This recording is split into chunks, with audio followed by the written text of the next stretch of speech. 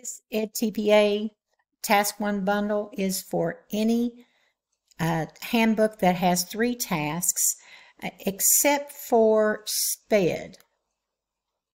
The products in this bundle would generally cost $60 when purchased separately. You're going to get all six products plus a bonus file for only $45. And we're going to take a look real quickly at these products now. You're going to get a timeline which to use, and you can use the timeline either to organize yourself or to check your work. There is also, this is the bonus file, which is um, a checklist of the Task 1 artifacts. You have the Ultimate Task 1 Prompt and Rubric Checklist, which is fantastic way for you to check your writing all the way through.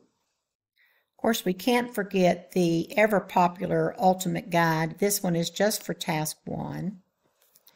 This has been used by uh, literally thousands of people to help them be successful on EdTPA. Also included is the ever popular lesson plan template, which has uh, directions for completion that comes along with it, and a template to help you plan your learning segment. This bundle could be useful for anyone working on task one. Um, it might be especially useful for people working on retakes, or maybe they're struggling for just the first time or they maybe just want to try out my products and looking for uh, a less expensive way to do that. I hope you'll give it a try. Thank you.